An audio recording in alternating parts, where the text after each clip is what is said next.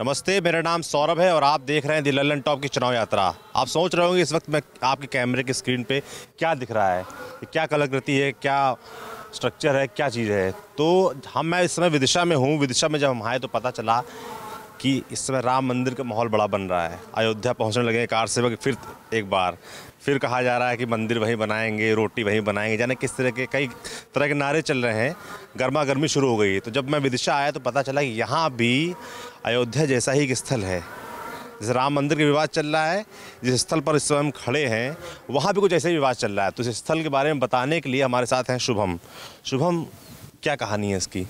इस मंदिर का एक्चुअली हिस्ट्री बहुत पुरानी है हाँ। आ, कई सालों तक तो आज़ादी के बाद किसी को पता भी नहीं था कि यहाँ पर कोई मंदिर है अच्छा। क्योंकि असल में ये परमार वंश के समय में बनाया गया एक मंदिर था हम्म। तो इसके बारे में हिस्टोरी जो हिस्टोरियंस हैं वो अलग अलग तरह के मत देते हैं कोई बोलता है सूर्य मंदिर है हम्म। और एक जगह पर यह पाया जाता है कि बीजा मंडल इसको बोला जाता है तो विजया माता का मंदिर है तो जब वर्मन साम्राज्य था और ये मालवा के जब वो राजा थे परमार वंश के समय में तो उस समय में उन्होंने यहाँ पर एक विजया माता का बहुत ऊँचा बहुत विशाल पूरी जगह परिधि में फैला हुआ विशाल मंदिर बनाया था।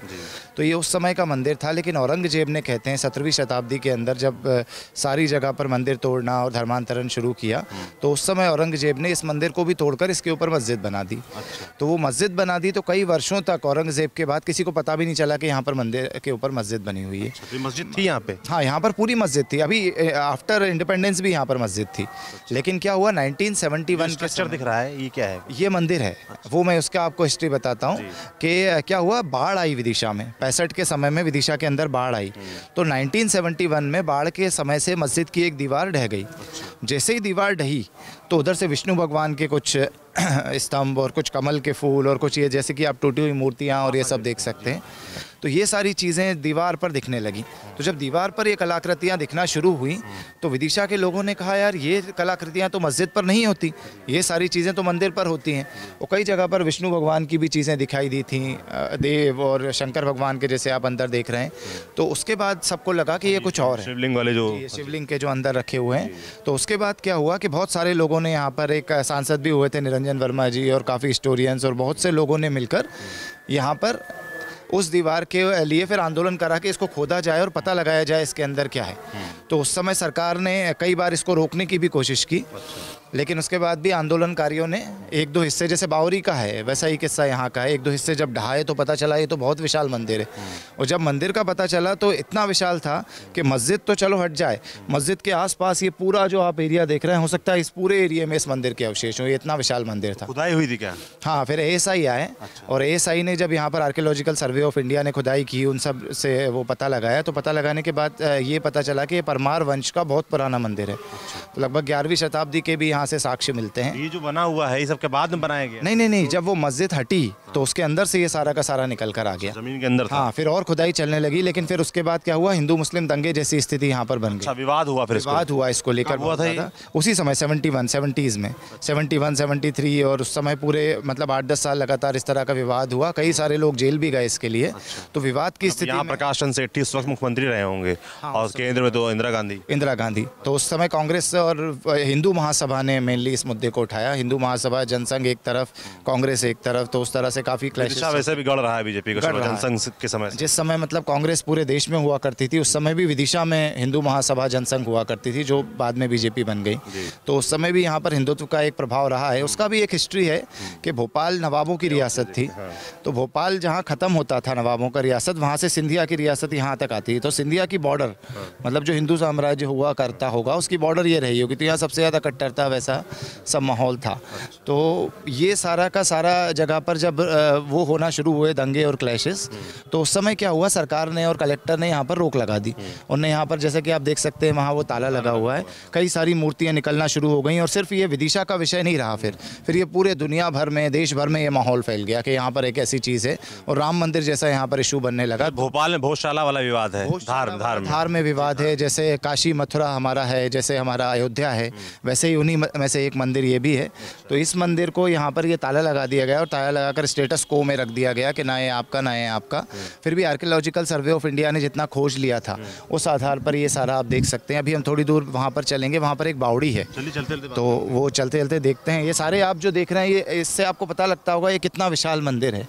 और ये कहा जाता है कि इसके नीचे से बेतवा नदी बहती थी। अच्छा। तो यहाँ से लेकर बेतवा नदी तक पूरा का पूरा एक अंदर से ज़मीन के नीचे से एक रास्ता है। और जो बावड़ी अभी हम देखेंगे, उसके नीचे कहते हैं इसका खजाना और काफ़ी कुछ हो सकता है, लेकिन आज तक उसके अंदर जाकर कोई पता नहीं लगा पाया। ये खंभे सारे एस आई के भी हैं और काफ़ी सारे रुइंस हैं, ये जो आप देखेंगे ये सारा। तो बहुत विशाल मंदिर हुआ करता था यहाँ। अच्छा ये सब जीने मतलब ये जो नीचे ज़मीन के मिला था? हाँ ये ज़मीन के नीचे। मतलब उन्होंने क्या किया था उसके ऊपर पूरा ऐसा करके बंद करके और ऊपर मस्जिद बना दी थी। हाँ, तो मंदिर के रुइंस नीचे वैसे के वैसे थे। तो जब खोदते चले गए अभी भी कहते हैं यदि इसको ज़मीन के नीचे खोदा जाए तो और नीचे नीचे नीचे नीचे जाता जाएगा।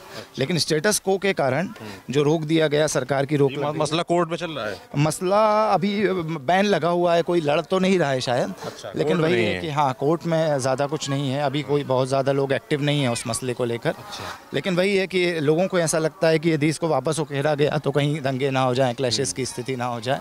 क्योंकि ये जब आगे बढ़ेगा जैसे कि आप देख रहे हैं ये सीढ़ियाँ हैं और ये सामने ही फिर घर शुरू हो गए हैं। तो ये यदि एसआई खोदना शुरू करे तो कई सारे 200-300 घरों के नीचे तक ये मंदिर जाएगा। अच्छा। तो ये इतना विशाल और वो सारा ये तो सिर्फ़ गुंबद गुंबद का एरिया है यदि आप गौर से देखेंगे। निकाले गए थे ये सारा सेवेंटीज़ के बाद से ही खुदाई शुरू हो गई थी जब वो दीवार गिरी थी। तो उसके बाद धीरे धीरे धीरे धीरे करके ये सारा एरिया निकाल कर लेकिन अभी बहुत ज़्यादा यहाँ पर कुछ मूर्तियाँ भी विदिशा के अवशेषों की आपको मिलेंगी। हाँ ये है। इसके अलावा एक और जो महिषासुर मर्दिनी हम बोलते हैं तो महिषासुर मर्दिनी की भी मूर्ति यहाँ से निकाली गई थी। अच्छा। तो यहाँ पर आपको मिलेगी। लोकल आप फ़िलहाल विवाद में यहाँ स्थिति तो नहीं है यहाँ पे? नहीं यहाँ लोकल में अभी विवाद की स्थिति नहीं है। पिछले साल एक एक डेढ़ साल पहले एक बार बन गई थी जब लोगों ने कहा था कि एक मत यह भी है कि यहाँ पर एक बहुत विशाल सूर्य मंदिर था जैसा कोणार्क में है। अच्छा। तो उस मत के हिसाब से काफ़ी सारे लोग यहाँ पर सूर्य पूजा के लिए आए थे। तो उस समय विवाद की स्थिति बन गई थी तो फिर कलेक्टर ने उसको जैसे तैसे करके संभाला था। अच्छा तो फ़िलहाल यहाँ कोई पूजा पाठ या नमाज़ वगैरह नहीं होती है? अ, पहले नमाज़ हुआ करती थी अच्छा। मतलब ये सेवेंटीज़ के समय में यहाँ पर उन लोगों ने नमाज़ और वो चीज़ें शुरू कर दी थी। फिर हिंदुओं ने कहा यदि नमाज़ होती है तो हम पूजा भी करेंगे। तो फिर उनकी पूजा रोक दी गई। तो जब पूजा रोक दी गई तो फिर अब एक चीज़ हो रही है दूसरी चीज़ कैसे होगी? तो फिर दोनों ही चीज़ें अभी तो नहीं हो रही हैं। लेकिन हिंदुओं का ऐसा कहना है कि हमारा मंदिर था, प्राचीन मंदिर था तो यहाँ पर पूजा होनी चाहिए।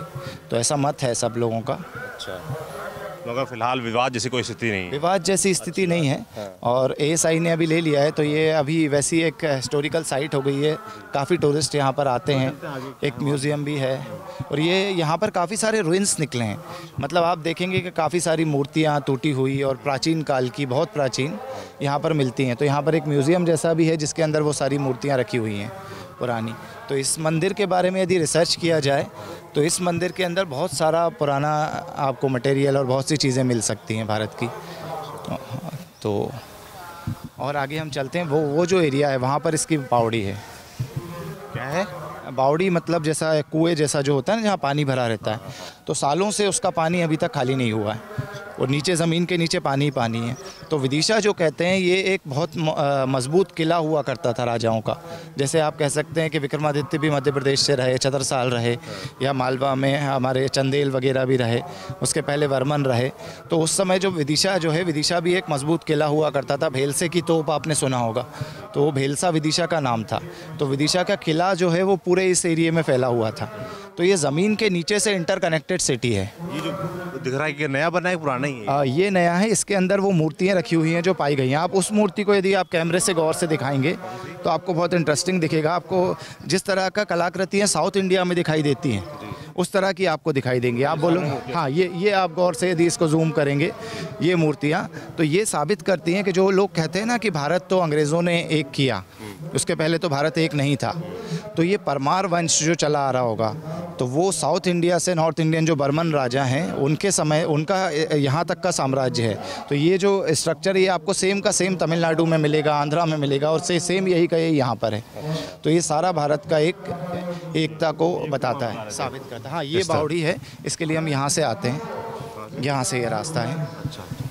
इसका क्या इतिहास है? इसका भी इतिहास है कि मतलब मंदिर के अंदर ये रहता था और ये बावड़ियाँ काफ़ी इंटरकनेक्टेड मतलब कई सारी जगह पर यह भी कहा जाता है कि इसके अंदर खजाना है। अच्छा। और कई बार ऐसा भी आपने सुना होगा कि महलों के अंदर से रानियाँ बाहर से नहीं जाती थी नहाने ज़मीन के नीचे नीचे से चली जाती थी तो ऐसी बावड़ियाँ महलों के अंदर किलों के अंदर भी हुआ करती थी। तो बावड़ियों के अंदर से गुप्त रास्ते होते थे जो सीधे नदी पर जाकर खुलते थे। तो कहते हैं इस नदी इसका रास्ता भी गुप्त है जो नदी के अंदर जाकर खुलता है। तो ये इतनी ज़्यादा गहरी है कि इसका पता नहीं लगा पाए इसके अंदर अभी लोग जाते नहीं। हाँ ये यहाँ से आप देखेंगे तो आपको बहुत ही अच्छा एक आर्किटेक्चर भी है इसका। जी आपको यहाँ से दिखाई देगा। इधर से आइए। जीना बना हुआ है क्या? हाँ सीढ़ियाँ रहती हैं। पूरी बावड़ी का स्ट्रक्चर ही वही है। थोड़ा सा भराएगा थोड़ा सा जो आज कहते हैं ना हम रेन वाटर हार्वेस्टिंग जो पानी बचाओ बरसात का पानी बचाओ उसका पहले से ही इस तरह का अद्भुत नमूना रहा है कि रेन वाटर को ये लोग बचा कर रखते थे। तो ये सीढ़ियाँ उतरती चली जाती हैं चली जाती हैं। जी। और उतरने के जाने के बाद सीढ़ियाँ वहाँ तक जाती हैं और वहाँ से कोई गुप्त रास्ता बिल्कुल कॉर्नर में यदि आप देखेंगे। हाँ। तो ये नीचे तक पानी अभी काफ़ी भर गया है। अभी कभी कभी आप देखेंगे थोड़ा नीचे भी जाता है तो नीचे भी सीढ़ियाँ गई हैं। और फिर अंदर तक गया हुआ है? अंदर तक गया हुआ है और वहाँ से फिर ज़मीन के नीचे से राइट या लेफ़्ट में से एक रास्ता जाएगा। फिर वहाँ से और राइट में जाएगा और ऐसे इंटरकनेक्टेड पूरे सिटी के अंदर होगा। अच्छा। तो इस तरह से ये पूरा स्ट्रक्चर पुराने ज़माने का जो आर्किटेक्चर हमारा रहा है वो है। ये उन्नीस सौ इकहत्तर में जब वो आपने बताया कि दीवार गिरी हाँ जब दीवार गिरी मस्जिद तो की। बाद फिर ये पूरा खोद कर निकाला गया मंदिर। ये सब चीज़ें बाहर आई हैं। ये सब चीज़ें तब बाहर आई वरना वरना यहाँ पर एक ईदगाह टाइप की बना रखी थी। तो वहाँ पर वो लोग नमाज़ पढ़ने के लिए उसे उपयोग करते थे। तो वो भी शायद वो पीढ़ियाँ तीन चार पीढ़ियों बाद हो गई होंगी जब औरंगज़ेब के समय से। उन्हें भी नहीं पता होगा कि इसके नीचे क्या है। वो औरंगज़ेब ने उस समय तोड़कर काफ़ी मंदिरों के साथ भारत में ऐसा किया कि उन मंदिरों को तोड़ा और उनके ऊपर पूरा एक नया स्ट्रक्चर बनाकर मस्जिद बना दी। तो काफ़ी जगह पर ऐसा होगा जो उसके नीचे मंदिर हैं। तो ये एक निकल कर आया तो ये विदिशा का अयोध्या कह सकते हैं आप, राम मंदिर जैसा इशू तो विदिशा भी एक प्राचीन नगर रहा है। यदि आप देखेंगे विदिशा नाम कहाँ से आया तो जो सम्राट अशोक हैं, सम्राट अशोक की पत्नी का नाम था विदिशा। तो विदिशा का असल में अर्थ वैसे एक दिशा एक ये भी है कि विगत दिशाएँ यहाँ पर मिलती थी। जब व्यापार का केंद्र हुआ करता था विदिशा सम्राट अशोक चंद्रगुप्त मौर्य के समय में तो काफ़ी लोग यहाँ पर आकर इंटरकनेक्ट होते थे। तो सम्राट अशोक को जब अपने भाइयों से अलग किया गया था तो उनको उज्जैनी राज दिया गया था। तो उज्जैनी राज्य के अंदर में विदिशा भी आता था। तो विदिशा में आकर उन्होंने उनसे शादी की थी। और कहते हैं जो सांची आपने बगल में देखा होगा तो सांची में भी ये जो अशोक के भाई जो बौद्ध हो गए थे वो वहीं रहते थे। तो वहीं से उनको वो ज्ञान मिला था फिर बौद्ध को धर्म को उनने फैलाना शुरू किया था। तो विदिशा उस ज़माने की प्राचीन नगरी है। इसके अलावा रामायण में भी जो राम श्री राम निकले थे तो यहाँ पर चरण तीर्थ का वर्णन है। पास में पास में ही चरण तीर्थ हैं जहाँ पर चरण बने हुए हैं। ऐसे ही जो हम चवन प्राश खाते हैं तो ऋषि चवन की भी ये भूमि रही है। और कालिदास ने भी अपने नाटकों में विदिशा शहर का वर्णन किया हुआ है। तो विदिशा बहुत प्राचीन समय की एक नगरी रही हुई है। तो ये उसका एक छोटा सा हिस्सा है ऐसे कई मंदिर आप आसपास देखेंगे। ऐसे ही एक साल भंजी का मूर्ति है जो विश्व में सबसे प्रसिद्ध मूर्ति है और विश्व की सबसे खूबसूरत मूर्ति होने का उसे खिताब मिला हुआ है। वो विदिशा के ग्यारसपुर से मिली हुई है और अभी ग्वालियर में रखी हुई है ग्वालियर के किले में जो म्यूज़ियम है उसके अंदर। तो विदिशा के आसपास इस तरह के कई अवशेषों से भरा पड़ा हुआ है। लेकिन अभी जो है कि एक वो दंगों वाली स्थिति के कारण पता नहीं क्यों सरकार ने इस इन चीज़ों की खुदाई और वो सब और ज़्यादा जाँच को रोक रखा है। यदि और ज़्यादा जाँच करवाई जाए और इन चीज़ों को खोदा जाए और देखा जाए तो बहुत सारा इतिहास भारत का यहाँ से मिल सकता है। जी।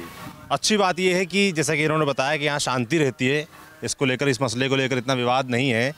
भले ही इसे अयोध्या कहा जाए विदिशा का मगर अच्छी बात फिर मैं यही कहूँगा कि ये है कि यहाँ पे शांति बनी हुई है। मैं चाहता हूँ आगे भी शांति बनी रहे और ये जो स्थल है इसी तरीके खूबसूरत है। और खूबसूरती इसकी कैसे बढ़ सकती सरकार को इसका ख्याल रखना चाहिए, मगर शांति के साथ। और विदिशा वाले भी मुझे लगता है, उम्मीद है कि वो शांति बनाए रखेंगे और जो विवाद जैसी स्थिति यहाँ पर नहीं है, वो और आगे नहीं बढ़ेगी। ऐसे हम जहाँ भी जाते रहेंगे, वहाँ के जो खास स्थल है, उनके बारे में आपको बताते रहेंगे। आप देखते रहिए दिलल्लन टॉप की चुनाव यात्रा। अगर ये वीडियो आप फेसबुक पर देख रहे हैं तो हमारे पेज को लाइक कीजिए यूट्यूब पर देख रहे हैं तो हमारे चैनल को सब्सक्राइब कीजिए। शुक्रिया।